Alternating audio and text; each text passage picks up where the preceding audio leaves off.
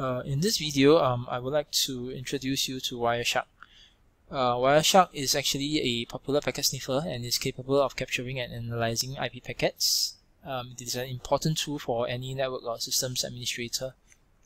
Okay, so um, the website uh, is actually here. Um, the URL is www.wireshark.org where you can download the executable or you can also find a ton of information here including the uh, documentation. Right so um, in this documentation page you can find extensive documentation. You can also find some uh, in, uh, videos on Wireshark. So if you are new to uh, Wireshark uh, I would recommend that you watch this uh, introduction to Wireshark video that you can find on the website and to have a feel of what Wireshark is about